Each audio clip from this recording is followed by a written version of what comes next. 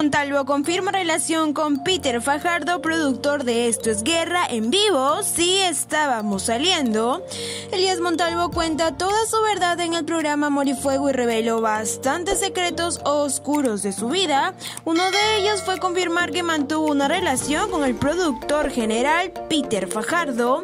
Él comentó que estuvo saliendo con el productor de Esto es Guerra, pero después de conocerse habían cosas que no le gustaban de él y se apartó para regresar con su ex el mexicano. Sin embargo, el conductor de Amor y Fuego, Rodrigo González, comentó que él se aprovechó del productor y una vez que obtuvo fama y estuvo en dos programas de televisión como Esto es Guerra y El Artista del Año, lo desechó porque ya no lo necesitaba. Esto fue lo que dijo Elías Montalvo sobre su relación con Peter Fajardo. Es que no éramos pareja, pero nosotros, como te digo, no, no es que.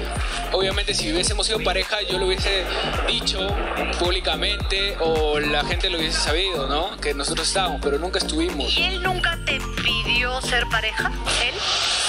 Espera, escúchame, vamos por partes. Ok, tal, ahora. como tal, no fui novio, Ya, sí. entonces fuiste su amigo con derechos. No lo puedo llamar así porque, o sea, realmente nosotros eh, nos conocimos, yo este, empezamos a salir, se podría Ya. decir, y ¿Dónde se conocieron?